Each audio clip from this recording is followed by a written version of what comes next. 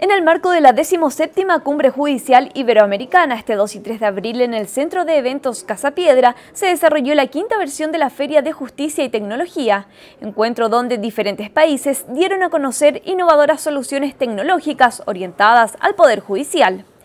Bueno, para nosotros creo que es eh, un avance muy importante para la justicia el hecho de poder firmar electrónicamente cualquier tipo de documentos del ámbito judicial. Primero para acelerar procesos y segundo para tener la información disponible en todo momento y en tiempo real. Eh, y lo otro es aportar a lo que es la sustentabilidad, reduciendo la huella de carbono con el solo hecho de no tener hojas de papel impresas esta feria permitió la exhibición de los últimos avances incorporados a los tribunales nacionales, sistemas que permiten entregar acciones prácticas que van acorde al avance tecnológico y al servicio de las personas.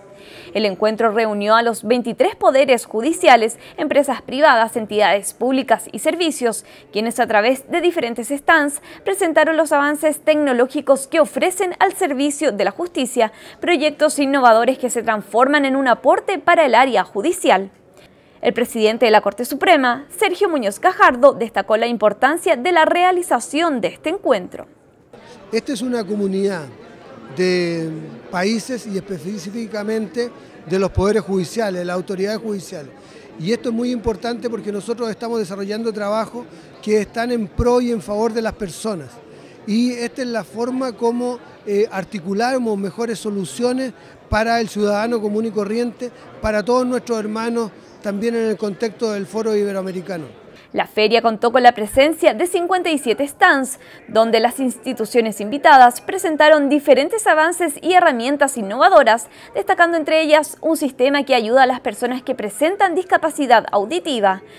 RedAPI es una empresa orientada al trabajo con personas con discapacidad auditiva y discapacidad visual principalmente, eh, donde lo que buscamos es a través de la tecnología mejorar los accesos de inclusión para estas personas en el ámbito de la educación, del trabajo, en capacitaciones, charlas, todo lo que implique eventos que tengan que ver con la comunicación. Otra innovación destacada fue en materia de sustentabilidad, desarrollando la digitalización de documentos que permiten ser un aporte al medio ambiente. En esta ocasión Carabineros de Chile está presentando el proyecto Parte Digital. Es un proyecto piloto el cual está funcionando en, las comisarías de la comuna de Puente Alto. Lo que pretende este piloto en definitiva es digitalizar los documentos anexos a un parte policial y poder disponibilizarlo a la Fiscalía Local en el menor tiempo posible.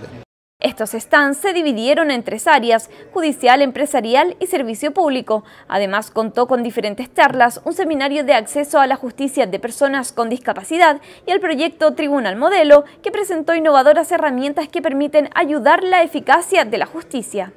Este intercambio tecnológico es un aporte a los nuevos cambios que quiere implementar el Poder Judicial chileno, entregando un mayor y mejor acceso a sus usuarios a través de nuevas y modernas herramientas que estén al servicio de los tribunales, permitiendo brindar una justicia de calidad a todos los chilenos.